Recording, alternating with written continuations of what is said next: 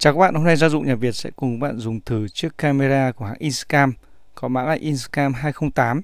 Đây là chiếc camera có chất lượng hình ảnh HD 720, đường kính đầu dò là 5.5mm và camera tích hợp sẵn pin sạc cho phép chúng ta dùng liên tục trong vòng 1 giờ đồng hồ.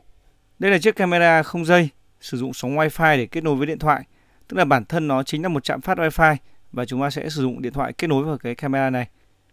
Đóng gói chúng ta sẽ có hướng dẫn sử dụng và hướng dẫn cài đặt phần mềm. Ngoài cái camera thì chúng ta được tặng kèm các cái phụ kiện để các bạn làm vệ sinh tai. Đây là cáp sạc cổng micro USB giống như các cổng cái điện thoại đấy ạ. Còn đây là chiếc Inscam 208.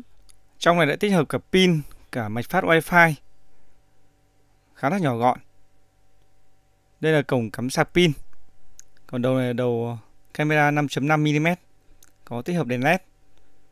Để sử dụng thì chúng ta sẽ cần cài phần mềm ở trên điện thoại các bạn có thể sử dụng với iPhone hoặc là Android.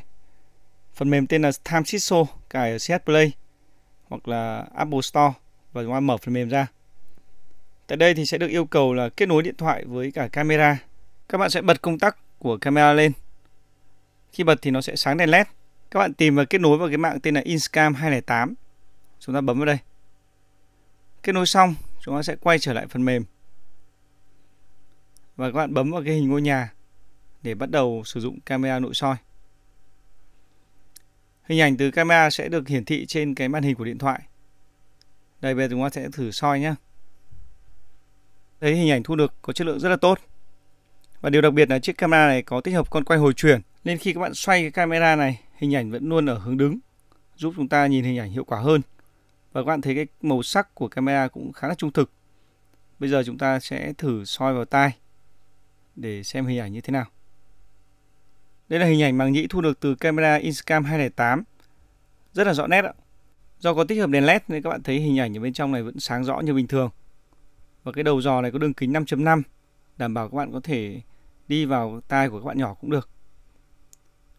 Trong khi mà soi ấy, các bạn có thể chụp ảnh bằng cái là bấm nút chụp ảnh hoặc là quay phim. Đây là chụp ảnh này. Đấy, chúng ta sẽ lưu lại hình ảnh và sau này xem lại hoặc là gửi cho bác sĩ còn muốn quay phim thì các bạn sẽ bấm vào cái hình máy camera. Thì hình ảnh nó sẽ được lưu vào trong điện thoại để chúng ta xem lại hoặc là gửi cho bác sĩ kiểm tra xem tai có vấn đề gì không. Muốn dừng lưu thì các bạn ấn vào nút stop. Và chúng ta có ba nút nút chụp ảnh này, nút quay phim và nút hình cái tai để các bạn xoay cho nó đúng hướng. Để thoát ra ngoài chúng ta bấm nút ngược lại và sẽ xem lại các hình ảnh đã được quay phim chụp ảnh lại. Đây chúng ta bấm vào phần thư viện. Và trên này nó sẽ hiển thị ra danh sách các cái hình ảnh đã quay phim và chụp ảnh. Đây hình ảnh thu được từ camera chất lượng HD 720. Rất là rõ nét. Để tìm hiểu kỹ hơn về chiếc camera nội soi của hãng Inscam, có mã là Inscam 208, các bạn có thể truy cập trang web gia dụng nhà Việt.com. Cảm ơn các bạn đã theo dõi. Xin chào và hẹn gặp lại.